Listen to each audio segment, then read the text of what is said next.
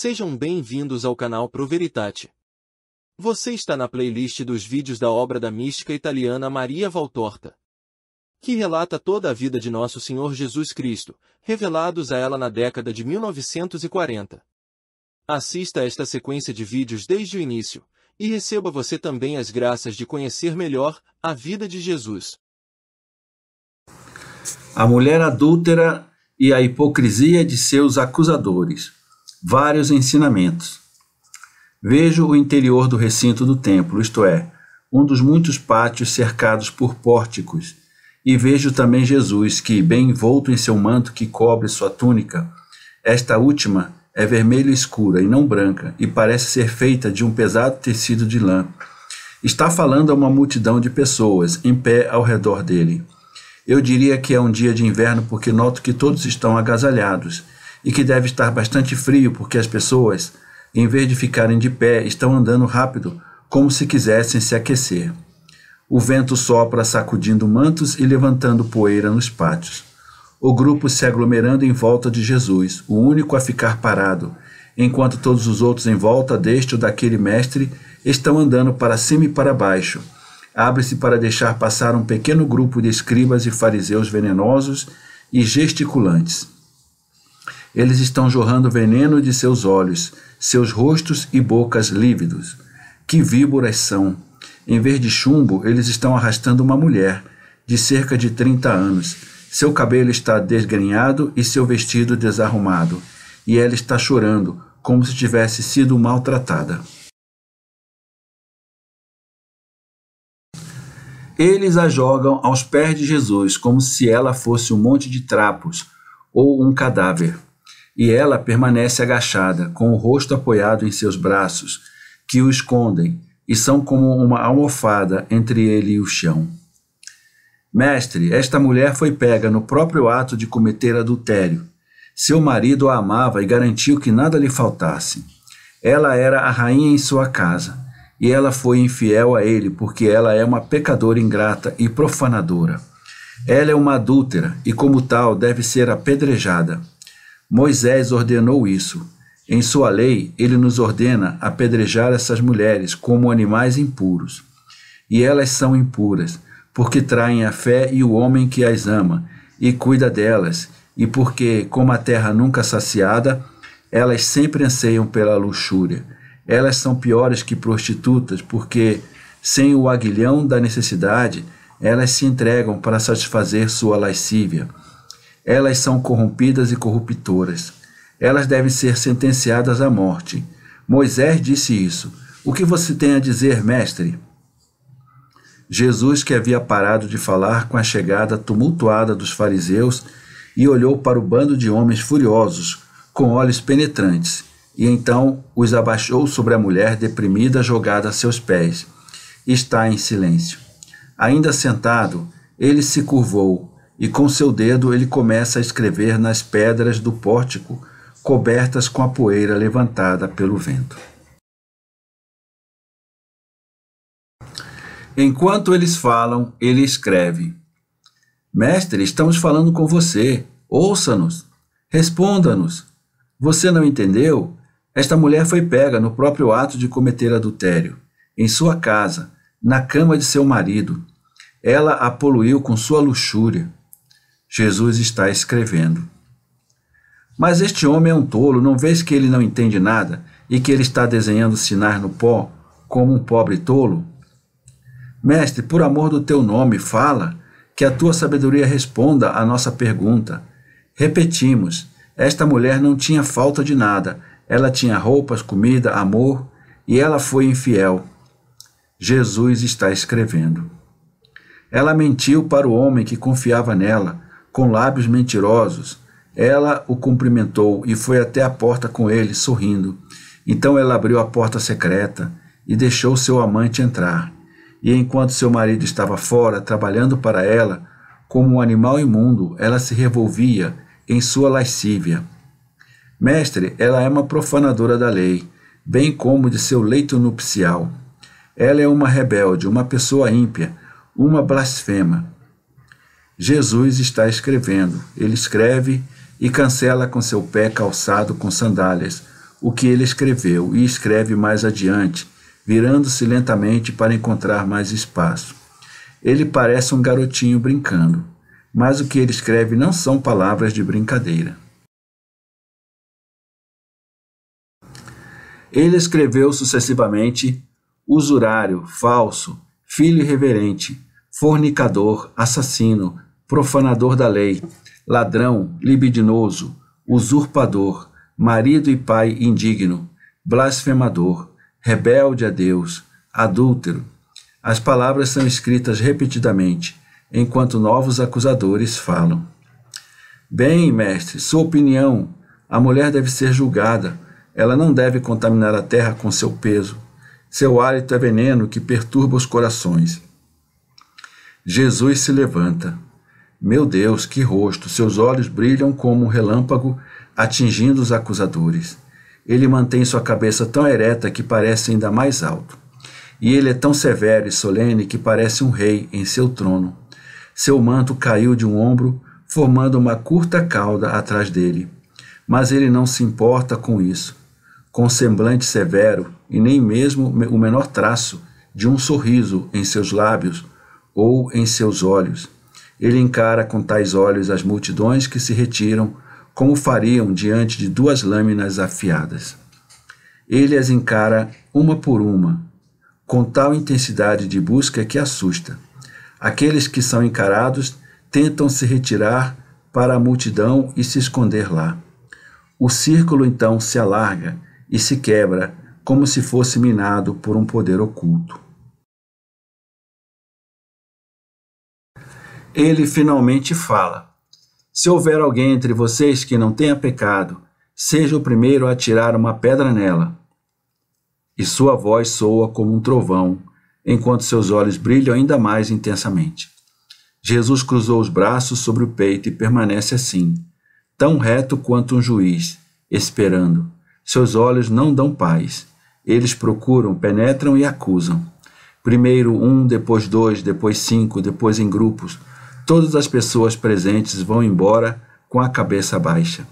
Não apenas os escribas e os fariseus, mas também aqueles que estavam anteriormente ao redor de Jesus, e outros que se aproximaram dele para ouvir sua opinião e a sentença. E tanto os primeiros quanto os últimos se uniram, antes, para abusar da mulher culpada e exigir sua lapidação. Jesus é deixado sozinho com Pedro e João não vejo os outros apóstolos. Jesus retomou a escrita, enquanto a fuga dos acusadores estava ocorrendo, e agora escreve: Fariseus, víboras, sepulcros de podridão, mentirosos, traidores, inimigos de Deus, injuriadores de Sua palavra.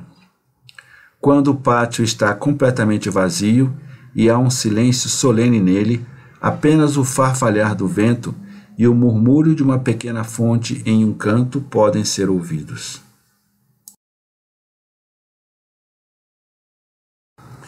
Jesus levanta a cabeça e olha. Seu semblante agora é plácido. Ele está triste, mas não mais zangado. Ele lança um olhar para Pedro, que se afastou um pouco, encostado em uma coluna, e um para João, que quase atrás de Jesus olha para ele com seus olhos amorosos. Jesus sorri levemente, olhando para Pedro, e mais brilhantemente quando olha para João. Dois sorrisos diferentes. Ele então olha para a mulher, ainda prostrada, e chorando a seus pés. Ele se levanta, ajusta seu manto como se ele estivesse prestes a partir. Ele acena para os dois apóstolos irem para a saída. Quando está sozinho, ele chama a mulher. Mulher, ouça-me, olhe para mim. Ele repete sua ordem porque ela não ousa olhar para cima. Mulher, estamos sozinhos, olhe para mim. A pobre coitada levanta seu rosto que lágrimas e poeira transformaram em uma máscara de desânimo. Mulher, onde estão agora aqueles que estavam acusando você? Jesus está falando em voz baixa com gravidade, cheia de piedade. Sua cabeça e corpo estão levemente inclinados para frente, em direção a tanta miséria, e seus olhos estão cheios de uma expressão restauradora e indulgente. Ninguém te condenou? A mulher responde soluçando: Ninguém, mestre. Nem eu te condeno. Vai, e não peques mais. Vai para casa.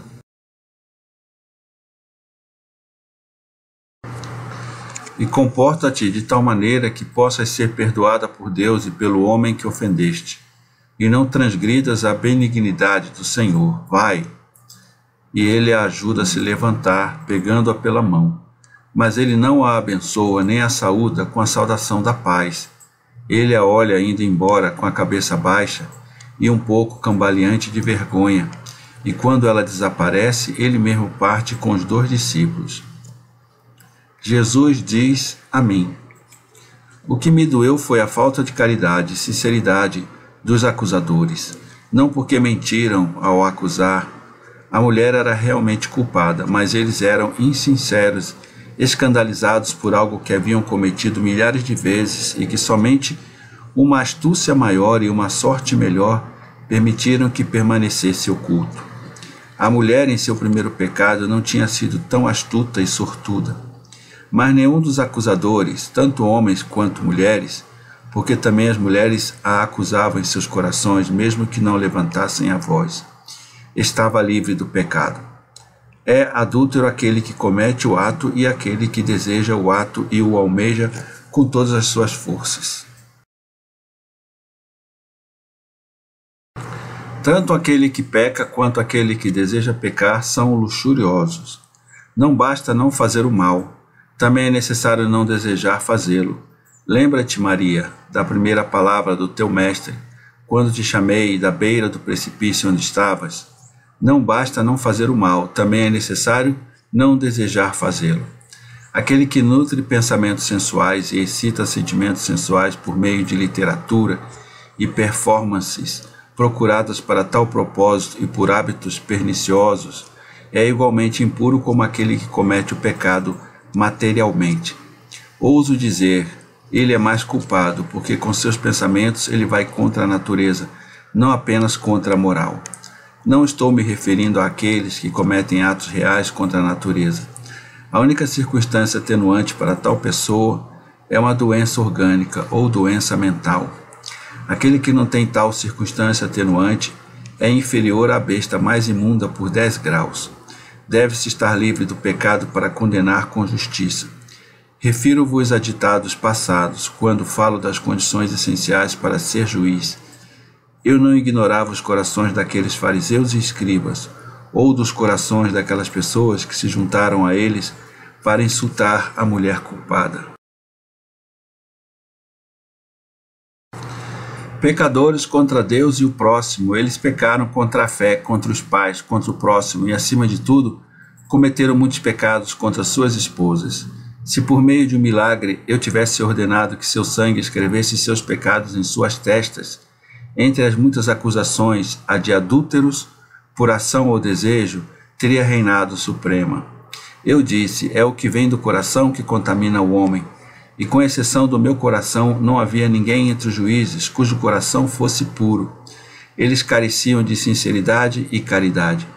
Nem mesmo o fato de serem como ela em sua fome de luxúria os induziu a serem caridosos. Fui eu que fui caridoso com a mulher abatida, eu, o único que deveria ter ficado enojado com ela. Mas lembre-se disto: quanto mais gentil alguém é, mais compassivo ele é para com os culpados não se é leniente com a própria falta, não, mas se é indulgente com pessoas fracas que não resistiram à tentação.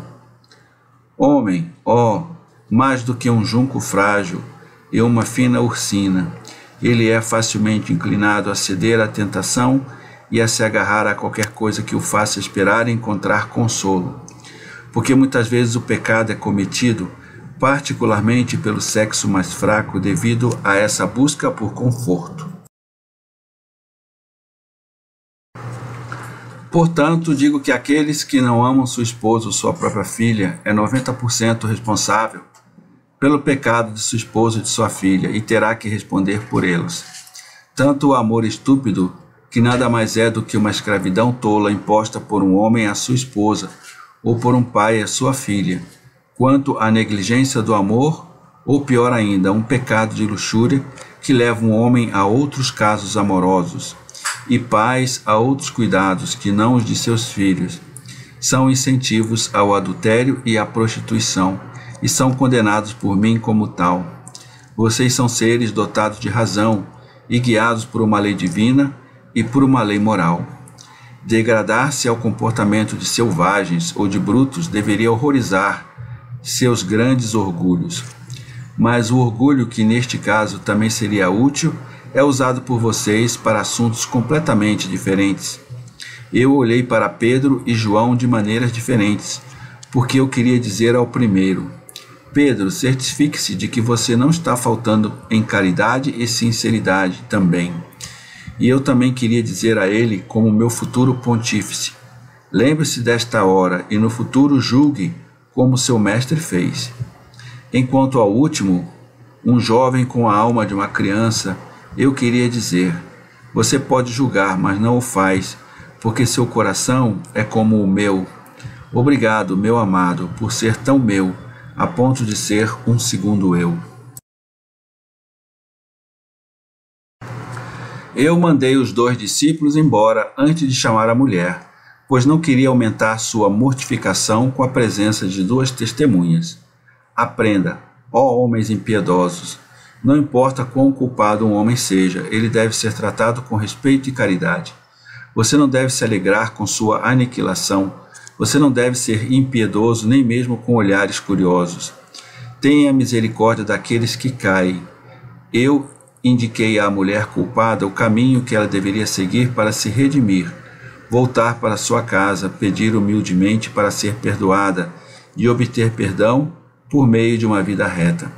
Não ceder mais à carne, não transgredir a bondade divina e a gentileza humana para não espiar mais severamente do que atualmente por dois ou muitos pecados. Deus perdoa e ele perdoa porque ele é bondade. Mas o homem, embora eu tenha dito, perdoa teu irmão setenta vezes sete, não é capaz de perdoar duas vezes. Eu não lhe desejei paz e não lhe dei minha bênção, porque ela não estava totalmente desapegada de seu pecado, como é necessário para ser perdoada. Em sua carne e infelizmente nem mesmo em seu coração não havia náusea pelo pecado. Quando Maria Madalena saboreou minha palavra, ela ficou enojada com o pecado e veio a mim, cheia de boa vontade, para mudar completamente. Mas esta mulher ainda hesitou entre as vozes da carne e as do espírito, e na excitação do momento ela ainda não tinha conseguido usar o machado contra o toco da carne e cortá-lo para ir, uma vez mutilada, de seu peso ganancioso para o reino de Deus. Mutilada do que é ruína, mas aumentada com o que é salvação. Você quer saber se ela foi salva? Eu não era o Salvador para todos. Eu queria ser, mas não era, porque nem todos queriam ser salvos. E essa foi uma das flechas mais penetrantes na minha agonia no Getsemane. Vá em paz, Maria de Maria, e não peques mais, nem em ninharias. Sob o manto de Maria não há nada mais que coisas puras. Tenha isso em mente. Uma lição sobre misericórdia. A resposta às objeções do perdão da adúltera. Separação dos discípulos ao longo da estrada para Betânia. Jesus se juntou aos dez apóstolos e aos principais discípulos no sopé do Monte das Oliveiras. perto da fonte de Siloé. Quando eles veem Jesus chegando, caminhando com passos vigorosos entre Pedro e João, eles vão em direção a ele e se encontram perto da fonte. Vamos até a estrada de Betânia. Estou saindo da cidade por algum tempo. Enquanto caminho, direi o que vocês devem fazer. Ordena Jesus entre os discípulos. Há também Manaém e Timoneu, que agora alegres novamente voltaram para seu lugar. E a Estevão e Hermas, Nicolau, João de Éfeso, João, o sacerdote. Em suma, todos que são mais notáveis por sua sabedoria, além de outros, homens simples, mas tão ativos pela graça de Deus e sua própria boa vontade. Você está saindo da cidade? Aconteceu alguma coisa? Perguntam muitos. Não, mas há lugares esperando por. O que você fez esta manhã? Eu falei os profetas mais uma vez, mas eles não entendem. Nenhum milagre, mestre? Pergunta Mateus. Não, eu perdoei e defendi uma pessoa. Quem foi? Quem estava ofendendo? Aqueles que pensam que não tem pecado estavam acusando uma mulher que havia pecado. Eu a salvei. Mas se ela era uma pecadora, eles estavam certos. Seu corpo era o de uma pecadora, sua alma. Há muitas coisas que eu deveria dizer sobre as almas, e eu não chamaria de pecadores apenas aqueles cuja culpa é óbvia também são culpados aqueles que instigam outros a pecar. E há um pecado mais astuto. Eles desempenham o papel da serpente e do pecador ao mesmo tempo. Mas o que a mulher fez? Adultério. Adultério? E você a salvou? Você não deveria? exclama Judas Iscariotes. Jesus olha para ele e pergunta: Por que não? Porque pode ser prejudicial para você. Você sabe como eles te odeiam e tentam encontrar acusações contra ti.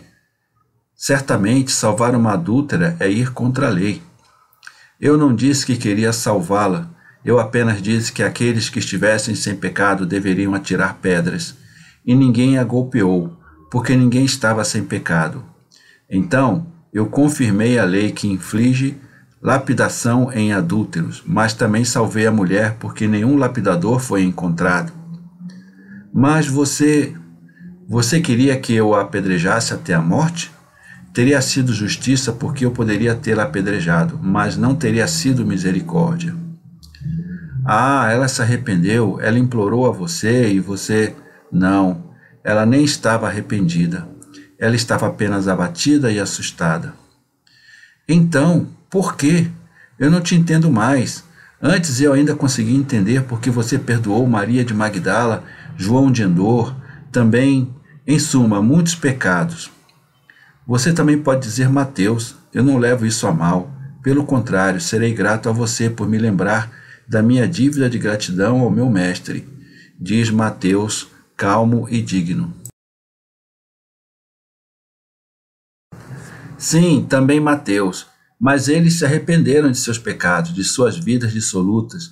Mas esta mulher, eu não te entendo mais, e eu não sou o único que não.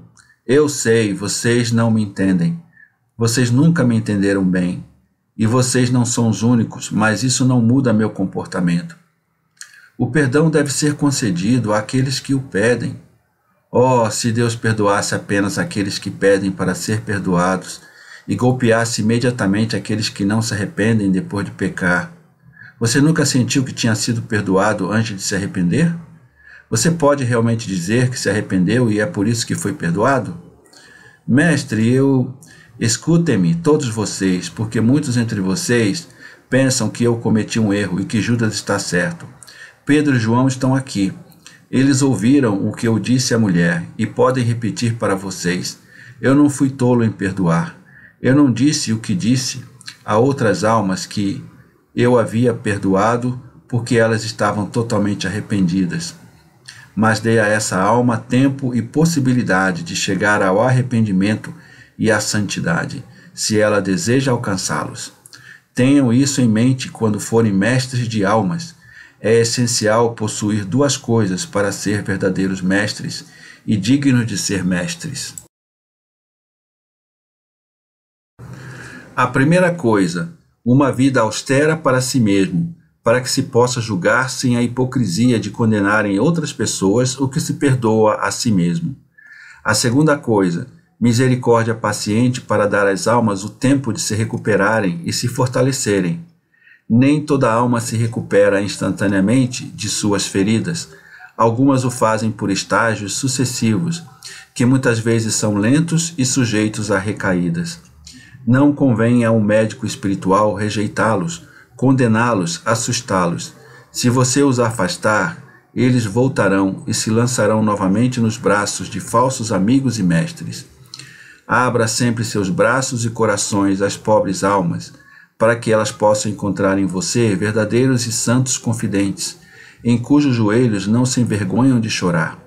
Se os condenas, privando-os de assistência espiritual, os tornarás cada vez mais doentes e fracos.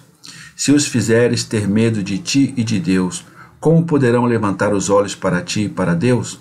O homem encontra o homem como seu primeiro juiz.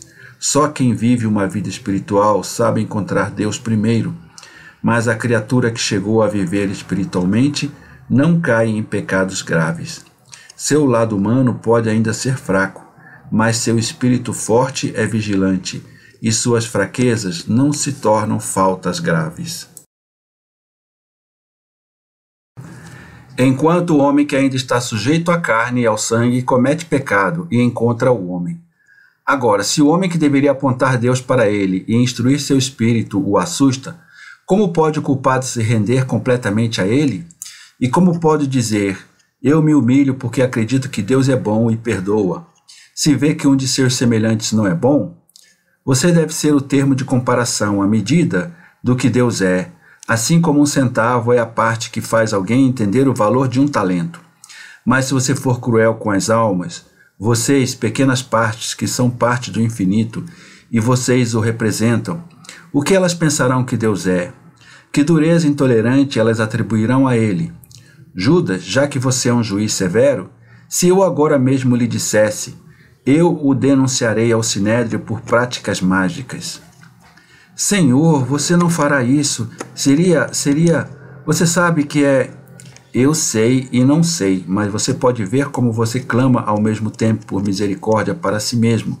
E você sabe que não seria condenado por eles, porque. O que você quer dizer, mestre? Por que você diz isso? Pergunta Judas excitado, interrompendo Jesus. E Jesus, muito calmamente, mas com o olhar que penetra o coração de Judas, e ao mesmo tempo refreia o apóstolo chateado que está sendo olhado pelos outros onze apóstolos e por muitos discípulos. Diz: Porque eles te amam, você tem bons amigos aí dentro. Você já disse isso muitas vezes.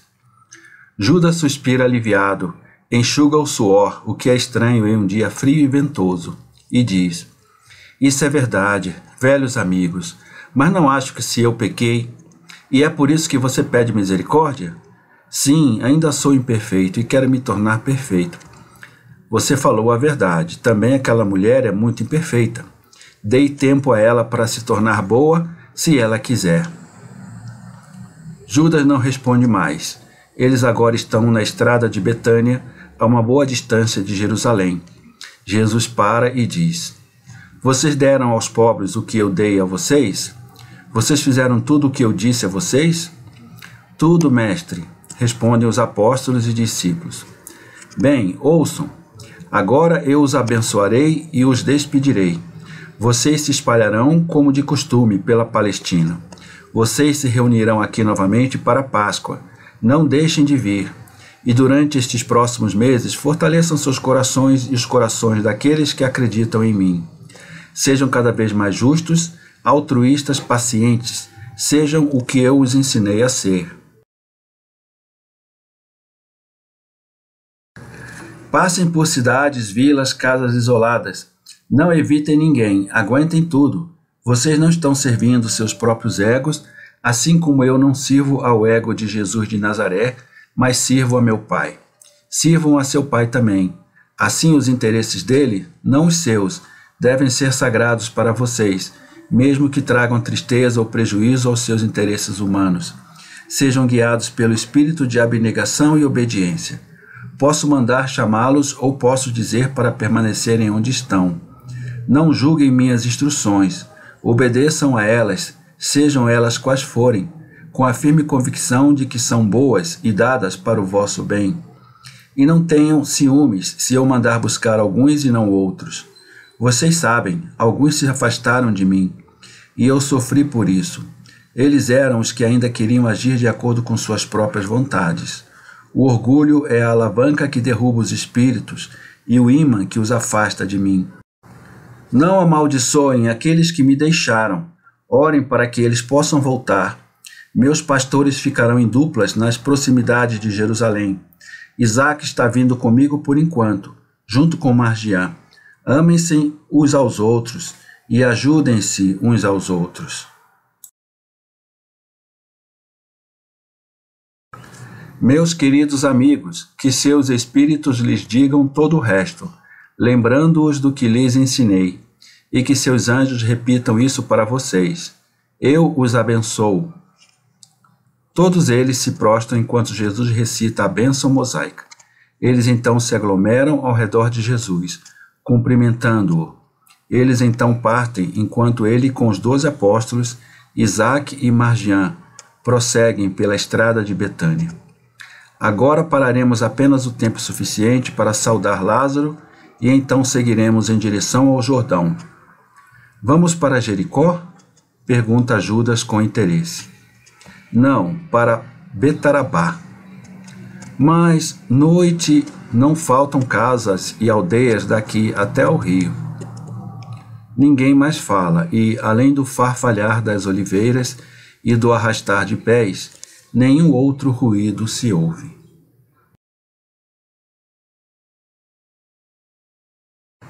Inscreva-se no canal, ative as notificações, dê o seu like, comente e compartilhe.